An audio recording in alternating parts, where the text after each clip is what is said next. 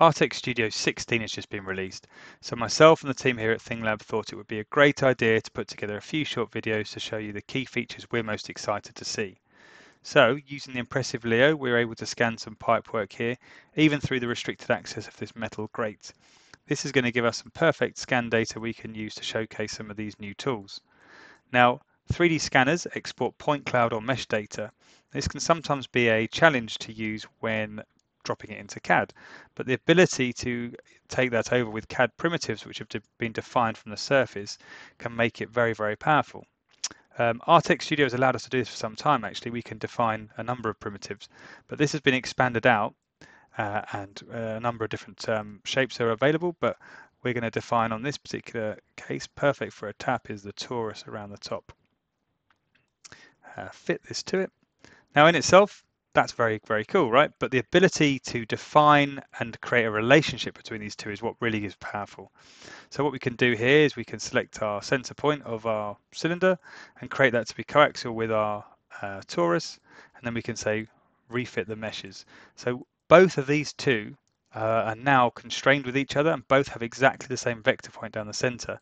This can be incredibly powerful when we're taking it over to CAD for reverse engineering. Now the other big thing within the CAD primitive tool is this, which is the ability to define a freeform.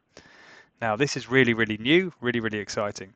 We can define a surface by simply selecting it and we set select fit patch. Now while that's doing that, we can flip over to the other side and we can do exactly the same again. Define it here,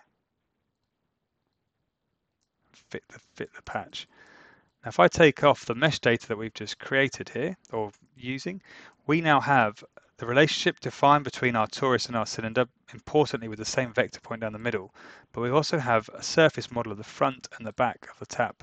Now these are the building blocks that we need, obviously using this as a guide to create a CAD model. Now uh, the relationship, like I said, is what I find really, really useful. So again, using it down here on somewhere like this flange, I can define a portion of the surface and fit a plane. And I can also now do exactly the same thing again where I fit a cylinder on this same flange, being sure to select the right primitive.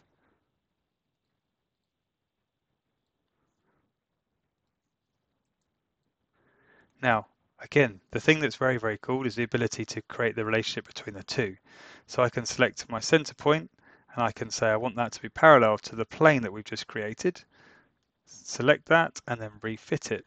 So now, again, if I take off the mesh data, we have a flange on the top and we have the cylinder that has the relationship correctly aligned to this.